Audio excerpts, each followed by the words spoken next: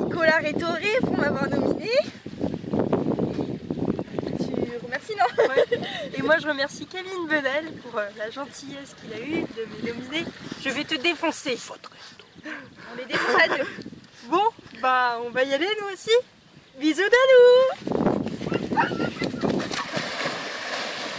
Je peux les rejoindre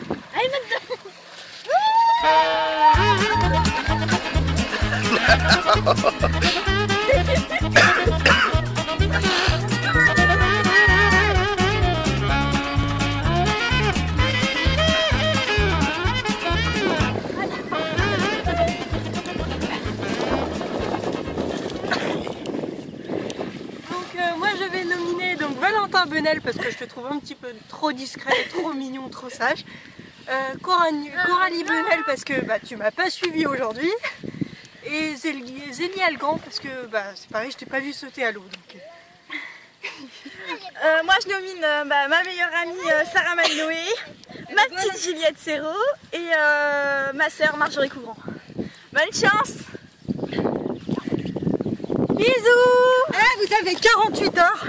Alors on est bien d'accord, 48 heures, pas de plage, Pas de douche, pas de piscine, pas de jet d'eau. Dans 48 heures, sinon, pour nous